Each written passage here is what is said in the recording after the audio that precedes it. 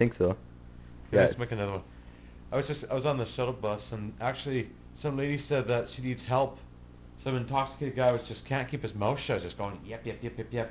I see that on all the shuttle buses, right, Gail? Yeah. Intoxicated idiots. You know, just not not friendly people. They gotta get rid of that casino. That casino needs to go. Yeah, sad to say all these people gambling their life away. Oh.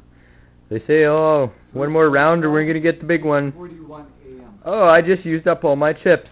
Now I'm in debt for several five hundred dollar chips. Better sell my house. Yeah, that's the reason why they say gambling's a sin.